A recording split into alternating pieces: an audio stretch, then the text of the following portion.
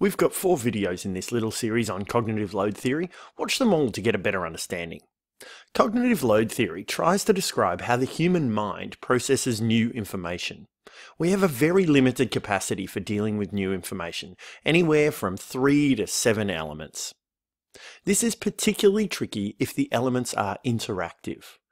Element interactivity means the degree to which the parts of knowledge have to be learnt together to make sense. For example, learning words in a foreign language has low interactivity. You can learn one at a time. Learning to drive has high interactivity because you need to process knowledge about changing gears, looking for traffic, maintaining road position all at once until some become automated. If a learning situation presents material in which we have to process too much at once, we experience cognitive overload. Cognitive overload impairs or prevents learning, so we as teachers need to avoid this condition in our students.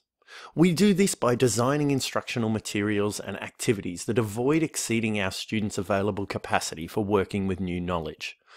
Watch the next video to learn about the difference between long-term and working memory.